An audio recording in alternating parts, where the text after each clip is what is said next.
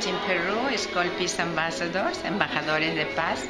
And uh, the main uh, philosophy of the project is that we believe that no matter how small you can be, you can be a great contributor to peace. Basically, we have children as peace builders.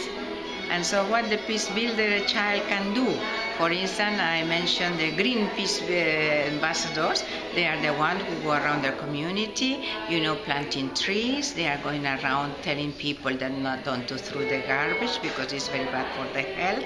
And they do uh, lots of things of this nature. Now the project goes into child to child. The older children from 10 uh, dealing with the little ones, uh, 3 and 4.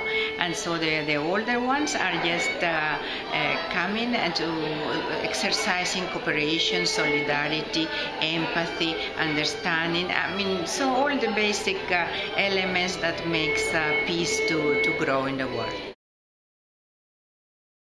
When we first, uh, in our first workshop, children envision how will be a world that they, the world that they would love to live.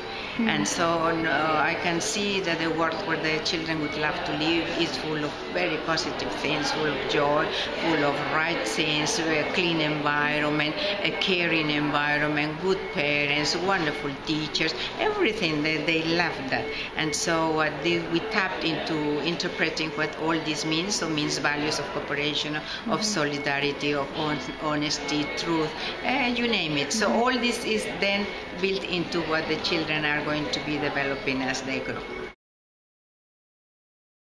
It has come from a very meaningful conference that I attended in, the, in New York in 2002. There was Summit for Children, mm-hmm. and this Summit for Children, I was a volunteer, an interpreter, and I was working with the children that has been in armed conflict. Mm-hmm. And I realized there were armed conflicts all around the world, but the children were very much healed, and they were just talking for their other brothers and sisters who might have been four or five years older than them. Mm-hmm. And so I asked the question, How are you so healed, my dear children? Can you tell me?